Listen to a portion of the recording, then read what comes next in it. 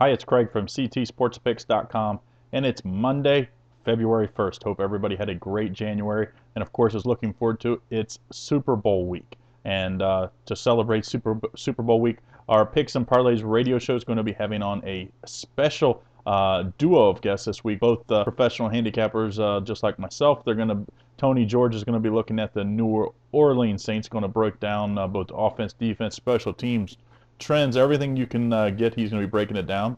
And of course, uh, we're going to have on Jimmy Boyd to cover on the uh, Indianapolis Colts.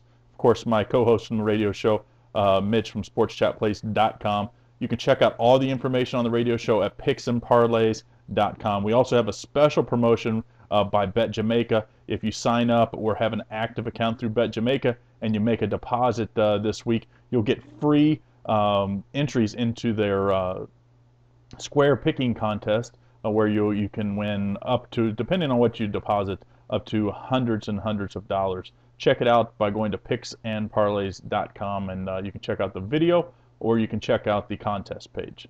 Uh, so don't forget, check that out. Now, our free uh, pick for Monday, uh, we're coming off a rough pick on Saturday as far as our video free pick. We had the under in the Kansas Kansas State game. Of course, the it went over uh, because it went into overtime. So uh, we're going to throw that one out as just a bad luck. And when it comes to sports gambling, you're going to get that every once in a while. Uh, today, we're going to be looking at Connecticut uh, at Louisville, and the spread's five and a half.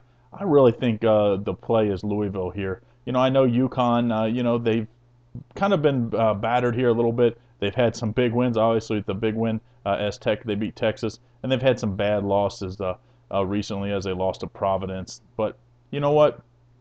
I just don't think uh, without Jim Calhoun that they can put it together. I do love Dyson um, for uh, for UConn, but I just don't think he, you know one man show is going to last, especially with the pressure that Louisville puts on you.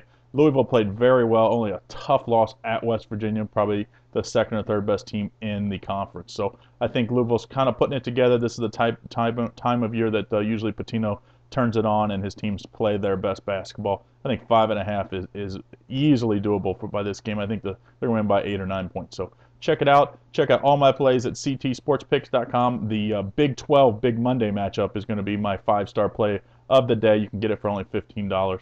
See you at ctsportspicks.com, and don't forget check out our radio show picksandparlays.com on Tuesday, 7 p.m. Eastern Standard Time, where you can get our Super Bowl special uh, for our radio show for the week. Have a good day.